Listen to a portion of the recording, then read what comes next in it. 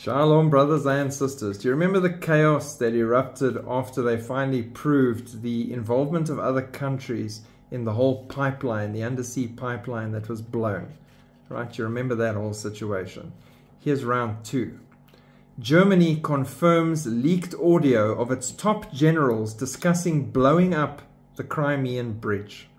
In a huge development, an absolute smoking gun revelation, the government of Germany has confirmed the authenticity of a leaked audio recording file published by Russia's state-backed RT media.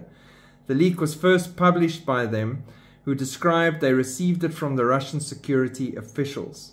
It first appeared under the headline Alleged Audio of German Officers Discussing Crimean Bridge Attack Leaked, as it featured top ranking Germany military officials in a private discussion of a potential German operation to bomb the Crimean Bridge in Russia, as it was initially described.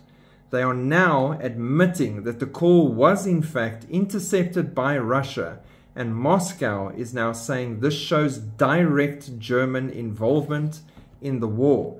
And they have said time and time again in the past, Medvedev and his cronies, if you get directly involved, you become a direct target.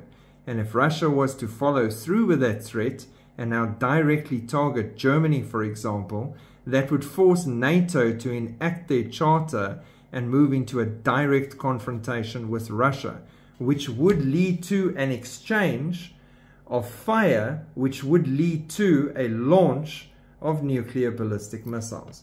All these things are on the very edge. It's almost as if Something is holding it back or restraining. Something is stopping the finger from pushing the button.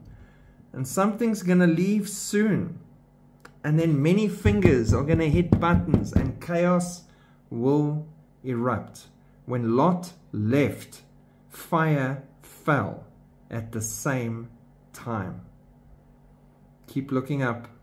We are closer than we have ever ever been.